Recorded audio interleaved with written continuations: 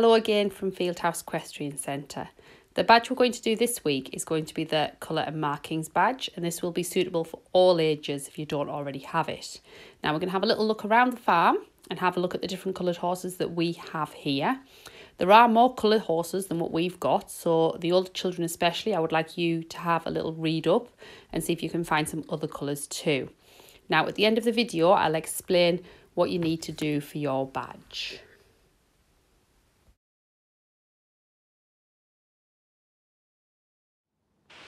So this is Anna. Anna would be classed as a spotted horse by her colour, but she's got quite an unusual marking. So she's nearly leopard spotted, but she's not completely covered. And also the dark marks on her in this colour would be called a varnish roan. They will probably fade as she gets older. So when she gets older, she'll probably end up almost completely white with just those black dots left on her. So this is Flora. Flora is probably one of the easiest colours to tell because she is just black. Um, she is part Friesian, and Friesian horses are normally black, which will be where she gets her colour from. Now, if we can get Flora to look at us, we can see that on her head there, she's got a white star, which is a little white part between her eyes. And on the tip of her nose, she has what we would call a snip. Her legs are completely black, so she has no markings on her legs at all. So all three horses tied up here would actually be classed as piebald horses, which means they are theoretically black and white. Now we'll have a closer look at each of them and I'll explain why they all would be classed as piebald. Now first up here we have Dolly who looks very clearly like a piebald. She is a very clear black and white. That's good to see. Now on Dolly's head, she's got quite unusual markings. You can see she's got a little bit of white above her eye, a little white mark on the side, and a white chin. Now they don't have specific names, but when she was passported by the vet, they would be marked on the passport and it would make it very easy for you to recognise Dolly from other horses. Okay, now if we move round to Safi. Safi again is a very clear black and white, which is good to see and you can see on Safi's head there she's got quite a wide white blaze and she also has quite an unusual white mark a little bit further up that again doesn't have a specific name but would be marked on the passport okay now this is the one that's a little bit unusual so this is Coco and if we were to look at Coco now we would probably think that she was grey but actually when Coco was born she was a very dark grey and white. So on her passport, she would be classed as a piebald, even though now that she's got older, she's lost her colour. So this is Diva. She's one of the livery horses, and she is a dark bay. So she has a very dark brown colour coat with a black mane tail, and she's got all black legs apart from on the back there. You can see she's got a very small white leg, and we'll call that a white sock. The next two horses we're going to look at, two of Rachel's horses. So this first one is Rocky. And you can see he's a much lighter colour than that last bay that we looked at. So he is a bay, but we would call him a bright bay. And on his legs on the back there, he has two white socks. And if we move round to the front, we can see at the front, he has a very small white mark, which we would just call a white coronet. Okay, but he quite distinctively has again the black mane, tail, and the black legs where he doesn't have his socks. So this is another of Rachel's horses. This is Paddy. Now, when we first got Paddy, we assumed he was a dun horse, but actually when we looked at him properly, his true colour is buckskin because he doesn't have a dorsal stripe, which is a black stripe which would run from his wither right down to his tail. Okay, his back is exactly the same colour as his sides. Now, if we look down at his legs, we can see he's got a white sock on the back right and the other two are a little bit smaller so we would call these a white fetlock. Now we'll have a little look to his head. If we can get Paddy to look at us, we can see that Paddy has a white stripe which is much thinner than a blaze. So we've managed to catch the ponies having a little snooze in the sunshine today.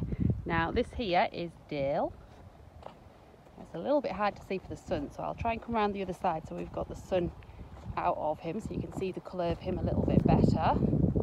And we would call Dale brown because for all he's very dark, you can see that he's got a very brown tinge to his coat and his mane also is brown as well. Okay, now the other two there, so we've got Ernie laid down and we've got Charlie's big bottom. We've already done their colour, so who can remember what colour Ernie and Charlie would be? So I think everybody will recognise this little pony. This is Toby, and Toby is a chestnut. You can see he has a very light mane and tail, so we would call Toby's mane and tail flaxen. Now a roan horse will have a mixture of dark and white colours splattered through its coat. So this horse that we're looking at here, we would class as a strawberry roan because it's a mixture of chestnut and white hairs going through his body. And he also, it's quite hard to see for his long off, but he's got white coming over both of his eyes. So we would also say that he had what we call a white face because it covers a very large area and is much bigger than a blaze. So we've just seen there a strawberry roan pony. Now this is Mitch, most of you again will recognise and Mitch is what we would call a blue roan. So Mitch has a mixture of dark grey and white flecks through his coat. Now you can see there very clearly the change between his summer and his winter coat. So he's still got a lot of extra white hairs where his winter coat hasn't come out yet and the darker hairs where his summer coat is coming through. We'll see if we can get him to stand a little bit further away. Being a little bit too friendly.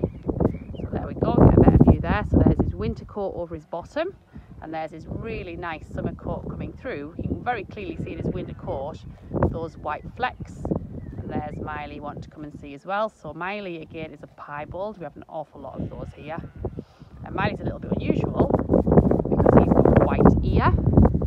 We can come around the side and see that and that's when we come down the field. It's a really good way to pick him out from the Now Freddie is a chestnut so theoretically the same colour as Toby he has a much darker coat colour and a much darker mane and tail, but because it's brown, we would still call him a chestnut. And the reason I want us to have a little look at Freddie is because he's one of the few that we've got that has stockings. So if we look there on Freddie's back legs, we can see that the white goes up beyond his hocks. And so we would call that a stocking rather than a sock. So this is one of our yearlings and he is actually half brother to Flora, the black horse that you saw first. Now, he looks like he's got a bit of a brown cast to his coat, but that's actually just where his coat has been coming out because he's had quite a thick winter coat in. Now, if he'll let us get round and have a little look at his head though, he was jet black born, but he will actually turn grey. So can you see there on his head, how his head is starting to turn grey? And the mare that he was out of was actually a white grey. And they'll often start and they'll be born black and then their colour will, as they get older and older, it will fade away and he'll turn grey and then probably get lighter and lighter as he gets older. So you can start to see the grey flecks there coming through on his head.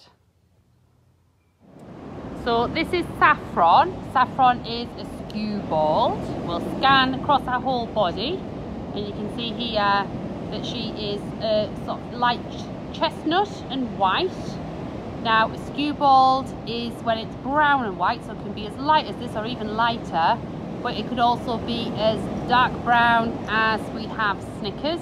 So anything that is brown and white we would call a skewbald. So these two ponies here belong to Annabelle and Ruby. The pony on the left is a Palomino, so it's got a golden coloured coat with an almost white mane and tail. And the pony on the right is a grey. So even though it looks completely white, we would always still class it as a white grey. We always call them grey ponies. Okay, so for those of you that are eight years and under, to achieve the mini badge, what I want you to do is to colour in a horse for me. And I want you to make it a bay horse. And I want it to have a white blaze and two white socks. And if you could email that through to me. Now, if you already have the mini badge or you are age over eight, what I want you to do is colour in a horse. You can make it any colour you want. And I want it to have three distinctive marks. So that could be something like a star, a blaze, a sock, a stocking. You can decide, but right on the horse, what colour you've made it, what markings you've put on.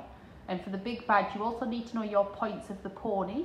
So if you could mark on it at least 15 points of the pony, a little bit like this picture here. Some that are not on this picture too, so I can see that you know them all. And again, email that through to me as well.